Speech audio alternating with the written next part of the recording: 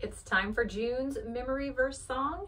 It's Philippians 4, verses 6 and 7. We're going to start the song by patting our legs and clapping, um, and we'll do some other things, so pay attention, and here we go. Don't worry about anything, pray about everything. Tell God what you need and don't forget to thank Him. Then God's peace will guard your heart and mind. Philippians 4 verses 6 and 7.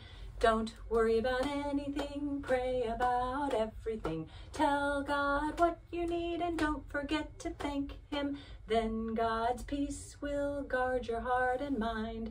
Philippians 4 verses 6 and 7.